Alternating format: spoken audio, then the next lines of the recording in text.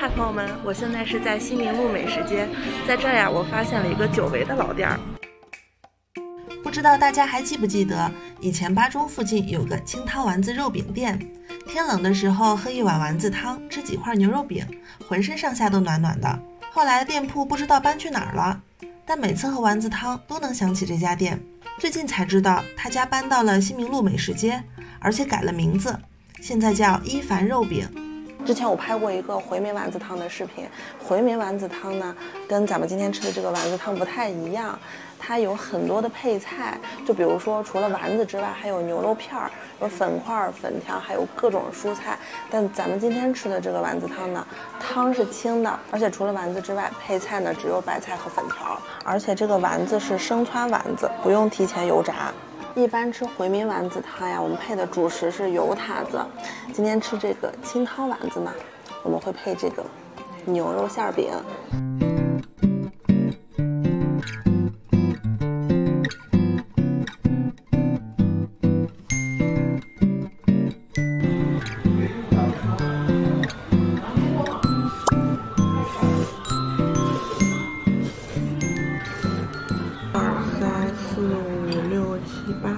九个丸子，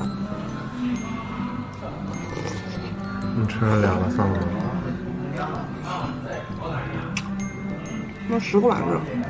一般这个牛肉饼一个人半张就够了，一般标配就是半张饼一碗丸子汤就可以吃饱了。我们今天来的是两个人嘛，我和摄像师，所以我们就点了一张饼。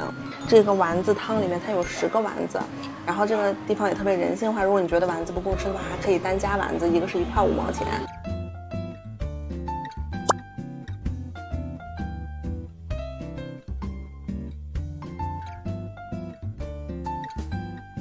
它这个牛肉饼就是千层饼，里面加的是葱和牛肉，葱香牛肉饼。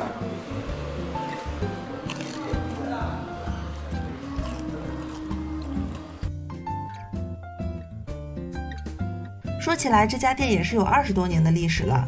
最开始是在北门，据说是用老板娘的名字命名的，后来搬到了八中后面的光华路，店名改成了立中快餐，立中是老板的名字。再后来又搬到了西明路美食城，店名又改成了一凡肉饼。一凡是他们女儿的名字。两次搬迁，两次更名，没有改变的是记忆中的老味道。